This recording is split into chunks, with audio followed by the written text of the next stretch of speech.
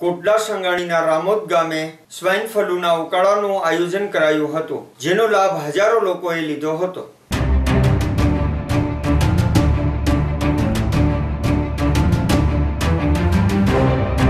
કોટડા સંગાણીના રામોદ ગામે ગ્રામ પંચાયત અને સામૂહિક આરોગ્ય કેન્દ્ર સંયુક્ત ઉપક્રમે ગામમાં ચાર સ્થળોએ સ્વાઇન ફ્લુ વિરોધી ઉકાળાનું વિતરણ કરાયો હતો, જેનો લાભ ગ્રામજનોએ તેમજ આટકોટ ગોંડલ હાઈવે પરથી પસાર થતા અનેક લોકોએ લીધો હતો. અહેવાલ કલ્પેશ જાદવ, કોટડા સંગાણી. જે સ્વાઇન ફ્લૂનો જે આ રોગ છે, અત્યારે હાલી નીકળ્યો છે, એના કારણે રામોદની અંદર આરોગ્ય ખાતાની અંદર જે આ કાળો પાઈ રહ્યા છે અને માણસને બચાવી રહ્યા છે એવા અમિતભાઈ પડાડિયા પૂરેપૂરો લાભ અને પૂરેપૂરો મદદરૂપ માણસોને થઈ રહ્યા છે.